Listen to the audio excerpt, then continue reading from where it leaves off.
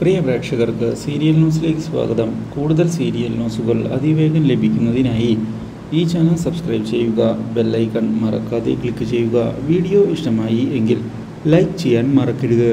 അപ്രതീക്ഷിതമായി തിരിച്ചടിയേറ്റത് ഞെട്ടിച്ചു കളഞ്ഞിരിക്കുകയാണ്.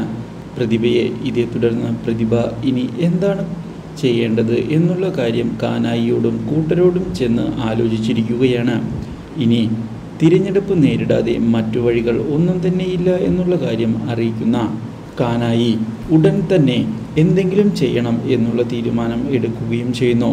എന്തായാലും അഞ്ജന മടങ്ങി വരാൻ തന്നെയാണ് പ്ലാൻ ചെയ്തിരിക്കുന്നത് എന്നുള്ള കാര്യം വ്യക്തമാക്കുന്ന കാനായി മറ്റാർക്കും അവൾ ഭരണം വിട്ടുകൊടുക്കാൻ സാധ്യതയില്ല എന്നുള്ള കാര്യത്തിൽ ഉറപ്പിച്ച് പറയുകയും ചെയ്യുന്നു. ഈ കാര്യം കേട്ടതിനെ തുടർന്ന് തന്റെ ആഗ്രഹങ്ങൾ നീണ്ടുപോവുകയാണ് എന്നുള്ള കാര്യം മനസ്സിലാക്കിയിരിക്കുകയാണ് പ്രതിഭ.